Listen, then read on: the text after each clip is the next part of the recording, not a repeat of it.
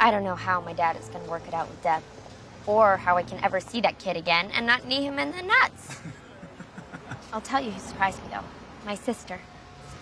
Sleeping with her boyfriend in your bed? Don't remind me. Dorrit and I had been fighting.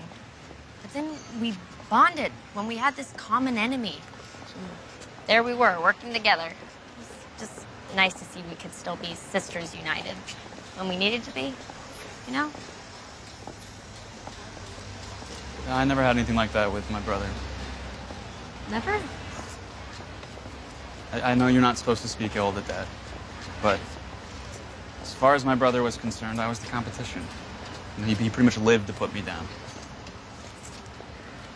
Well, he probably just thought you were better than him and felt threatened. Oh, I was never a threat. I mean, Robbie always got all the attention. You know, the golden boy, star athlete, great student, totally full of himself. I was just his stupid little brother. And no one seemed, no one seemed to care about me, or even notice me. And now he's dead, and I got famous writing a play about him. Death equals a Tony, so they say. I mean, his, his death made me, and I don't even miss him. All I feel is good. Finally, finally, people are noticing me.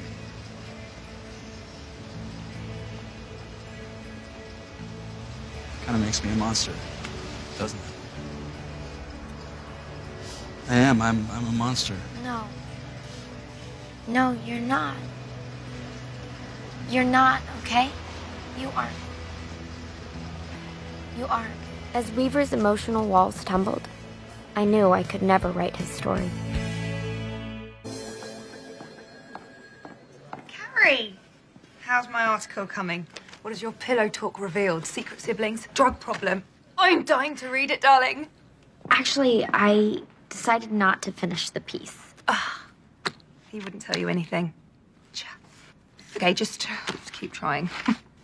No, he told me plenty, uh, but none of it's stuff I'd feel comfortable revealing. Why on earth not? Because I actually feel like I might like him. Opportunities like this don't just fall into your lap, you know.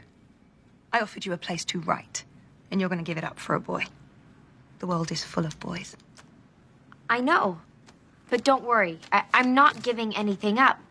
I still have tons of ideas to pitch to you. You know what? I just don't think it's going to happen for you right now, but be a love and go make me a cappuccino, will you? I knew what that meant. It meant I was banished to Siberia. Apparently, drawing a line was going to cost me an interview.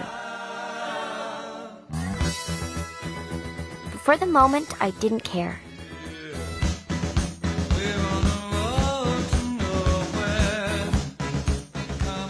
Being with Weaver felt so right that whatever the consequences, it was worth it.